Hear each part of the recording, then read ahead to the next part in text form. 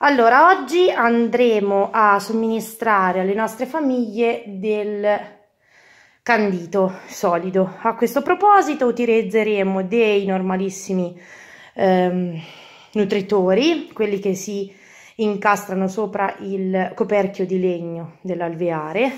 Ora, dato che eh, somministreremo il eh, candito solido, andremo semplicemente a togliere, a utilizzarli senza questo diciamo piccolo accessorio che serve invece di, in caso di somministrazione di alimento liquido.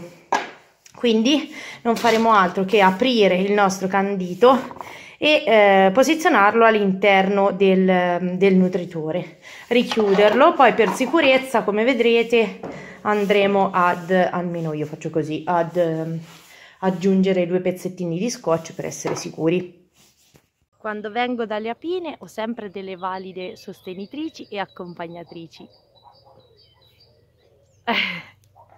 Le Choguls, sempre molto interessate. Ma andiamo! Uno degli strumenti più importanti per l'apicoltore è l'affumicatore. Affumicatore perché al suo interno dobbiamo accendere il fuoco. In questo caso bruciamo un pezzettino di juta arrotolato, quindi una fibra naturale senza coloranti, va bene? E che produce un fumo naturale, tra virgolette. Quindi procediamo all'accensione. Eccoci qua, l'affumicatore è acceso. La prima osservazione la possiamo fare da davanti. Adesso il sole è quasi andato via però possiamo vedere che rientrano api con le borse del polline piene. Quindi ci auspichiamo che comunque le famiglie siano in salute e ci sia covata. Stop!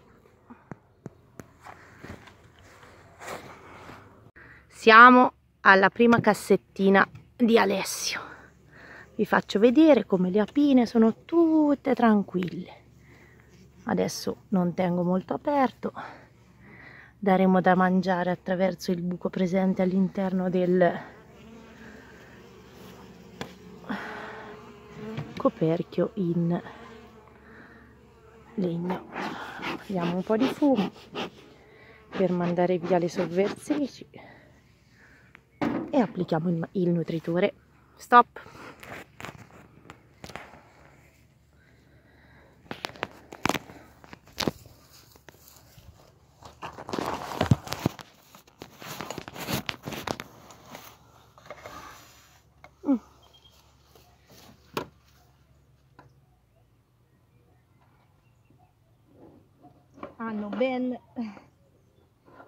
messo propoli, molta, molta propoli all'interno del buco per coprire il coso.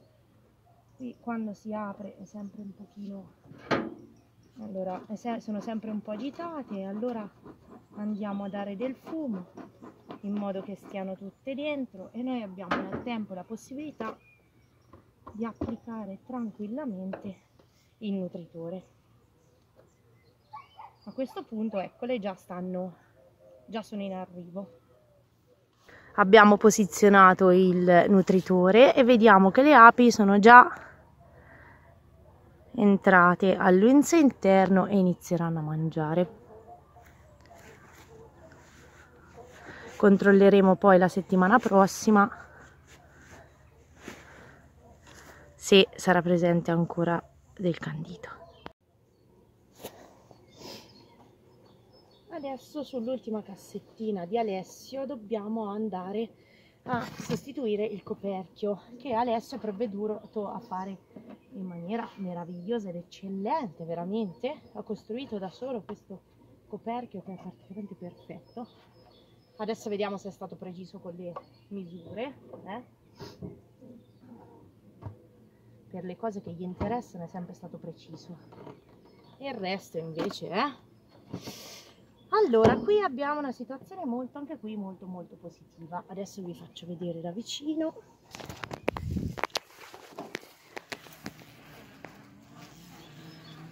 La famiglia è, sembrerebbe forte.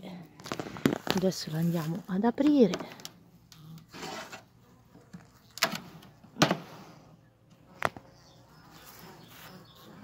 Eccole qua. Qui è presente naturalmente un escludi regina lo vedete, vedete questa cassetta un po' diversa perché è la base del beehive, cioè il melario che si applica sopra questa cassetta in legno è in realtà di quelli che, diciamo, corrubi, famosi col rubinetto, quindi sarà possibile eh, diciamo, prendere il miele direttamente dal, dal rubinetto, quindi noi non facciamo altro che andare a sostituire, l'escludio di regina ovviamente non lo possiamo sostituire, la famiglia sta bene, andiamo a sostituire il coperchio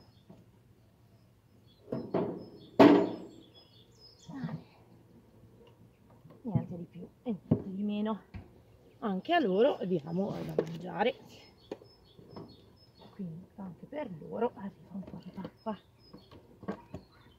Troviamo l'incastro e chiudiamo.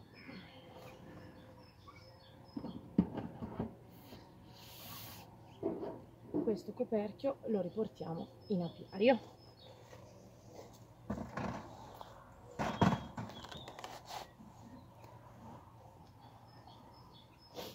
e dall'apiario e dall'apiare tutto. Ci vediamo alla prossima puntata. Ciao amici